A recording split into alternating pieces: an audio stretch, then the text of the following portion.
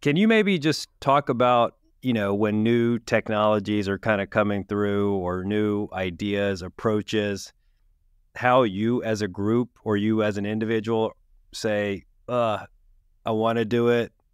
I don't want to do it. I think it's worthwhile. It Seems challenging. The capital equipment requests are nutty.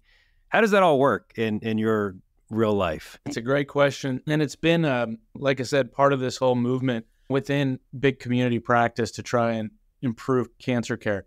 There's just fundamental differences, right, between hospital-based uh, organizations and groups like mine. So, completely independent group. We're not affiliated with a hospital we're you know thankfully uh, we, we, are still independent you know amongst all this integration that's going on in urology we're completely independent so to your point we have various structures and, and we have you know, committees the governing board but ultimately if, if, if there's a new technology that's interesting and that moves a needle for our patients you know, there's a there's usually a champion physician that kind of brings it to a higher level, and then we talk about it. But you know, one of the bigger differences is we do focus on the finances, the economics. It has to, it has to at least be a net neutral for us. Otherwise, it's very difficult to sustain. And so, it's one of these things that, in the bigger picture of this, and, and this is one thing that I've been kind of preaching for a while. A lot of my partners are tired of hearing me say this: is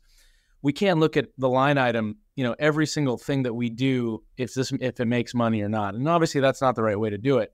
As we're seeing such an explosion like you said of cancer care, diagnostics, treatments, you know, imaging, all things that are coming, what we have to realize is is that sometimes you're going to have to bring something in that may not be very cost effective but it's going to enhance the, everything else, right? It's it, it's going to be indirect uh, revenue, indirect profit, improvement in, in patient care.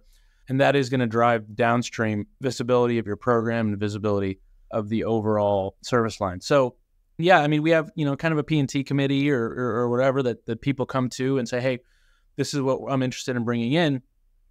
And then we talk a little bit about the finances. But there are some things that unfortunately just will never be able to move the needle. Um, blue light cystoscopy is a very interesting example in the community, blue light cystoscopy, it's obviously extremely valuable. I've been a champion of blue light cystoscopy for a long time. We own our own surgery center. It's kind of attached to our main building, but there is no code, as you know, there's no different reimbursement code for doing blue light cystoscopy or doing a TURBT blue light. So what that means is, is you're making the same amount of revenue that you would if you didn't have the technology, and the technology is quite expensive right? There is a, a tower, a special set of scopes, and then you have to buy and bill for the actual agent, which you put in the bladder. So the finances of that, if there's no increased compensation or reimbursement, are very difficult. And it's not that we say, well, we're not going to do it. We just say, well, let's work with the hospital, right? Um, and and so that's kind of how we do it.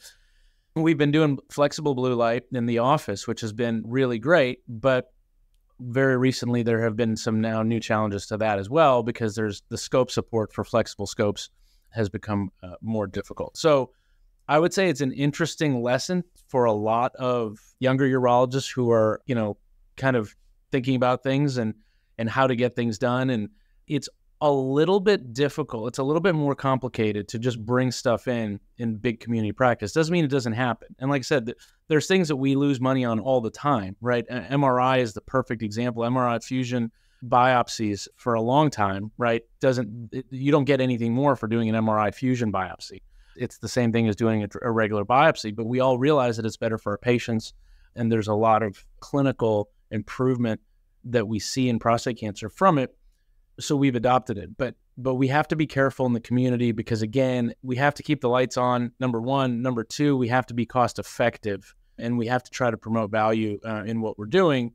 And just buying all of the latest, greatest new gadgets sometimes doesn't work.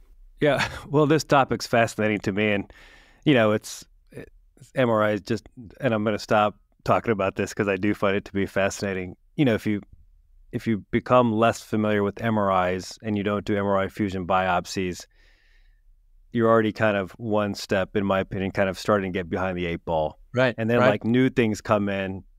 You'd mentioned Danny Ramirez, awesome guy doing a gazillion transperineal biopsies.